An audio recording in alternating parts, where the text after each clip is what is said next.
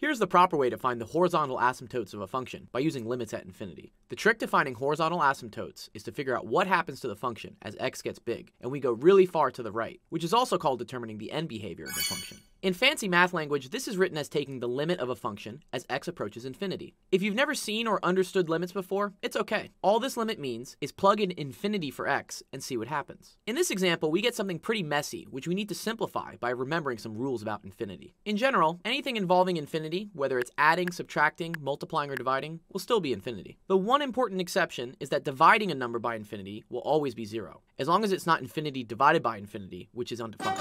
In this case, our limit simplifies to infinity divided by infinity, which is undefined. But whenever a limit is undefined, it usually means we can do more work with algebra tricks to rewrite it in a way that is defined. In the case of rational functions, a good algebra trick is to divide both the top and the bottom by the highest effective power of x, which in this case is x to the third. After simplifying the fractions a bit, we can now take the limit by plugging in infinity for x and see that a lot of these terms will be zero, since they are a number divided by infinity. This eventually gives us 0 over 1, which is just 0. So we can say that this function will approach y equals 0 as we go really far to the right, and thus the function has a horizontal asymptote at y equals 0. Here's a different example, where we'll end up having a non-zero horizontal asymptote. This time, we're just going to start off with our algebra trick and divide everything by the highest effective power of x, which is x to the fourth and then we're going to simplify. Now we take the limit at infinity by plugging in infinity for x, and notice that these two far right terms will go to zero, since they are a number divided by infinity. This leaves us with 3 divided by negative 6, which simplifies to negative 1 half. So we can say that this function will approach y equals negative 1 half as we go really, really far to the right.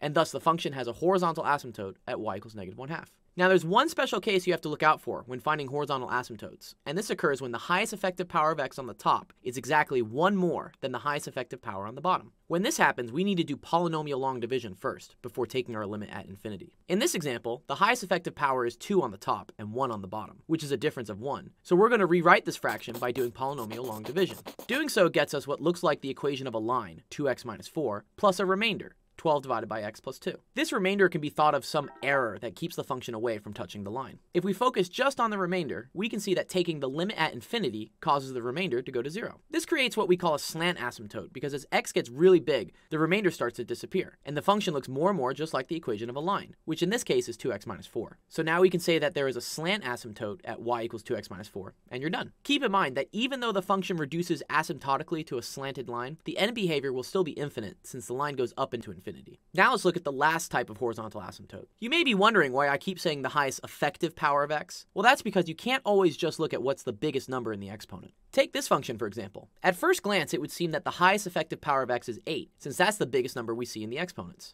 However, there is a square root on the bottom x to the 8, which will end up cutting its effective power to 4. This is because square roots are the same as raising a number to the 1 half. And if we remember our exponent rules, raising a power to a power multiplies the powers together. This means that our new highest effective power is 6, which is still more than 1 greater than the 4 on the bottom. So we don't need to do polynomial long division, and we're just going to start by dividing both the top and bottom by x to the 6. Quick tip, when putting exponents back inside square roots, you need to double the exponent. So dividing by x to the 6th becomes dividing by x to the 12th. Now we can simplify our fractions and take the limit by plugging in infinity for x. Doing so is going to get rid of a lot of terms because we're just dividing by infinity. So now we're just going to be left with a 3 on the top and a 0 on the bottom. Technically 3 divided by 0 is undefined, since it could be positive or negative infinity. It depends whether the 3 is being divided by a really small positive number or a really small negative number. But in either case, the function does not approach a real number, and as we go really far to the right, x becomes infinity. So we can say that there are no horizontal asymptotes, and you're done. And there you have it. That's how to find horizontal asymptotes with limits.